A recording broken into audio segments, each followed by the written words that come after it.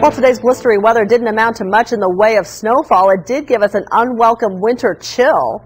And the cold weather might have you thinking of Christmas, or at least a Christmas story. It did for one Park City boy who emulated a famous Hollywood scene and wound up with his tongue stuck to a pole. KSN's Ann Meyer explains. Little Dakota Shockley has had a pretty hectic day. Tell me uh, what you did this morning. I stuck my tongue to a pole. The nine-year-old decided to use this basketball pole to test out a well-known tale.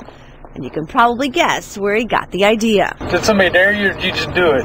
I just did it How come? because I saw it off of a movie and I didn't think it was real. There was no going back now.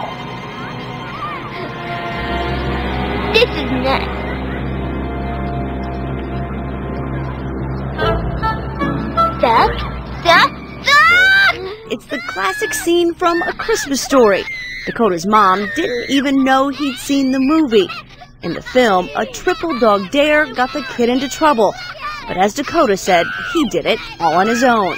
Unlike the movie, fire trucks did not come to the rescue. Nope, little Dakota just pulled himself free. But it wasn't easy. How did that feel? Bad. Does it still hurt? Yes. Did it leave a mark? It did. Um, what'd you learn about that? Never to do it again. Dakota was too shy to show us his wounds. This is a hard lesson he's not soon to forget. And you can bet Dakota will leave the tough stuff to the big screen from now on. With photographer Nick Kiefer, Ann Meyer, KSN News.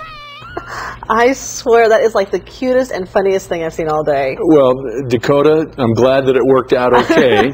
and in that case, now we know that some things in the movies are true. That's right. I guess some kid in Indiana did exactly the same thing today. Well, you got to have these kinds of temperatures to do it to get those metal surfaces close enough. So nobody else try that tonight. There you go.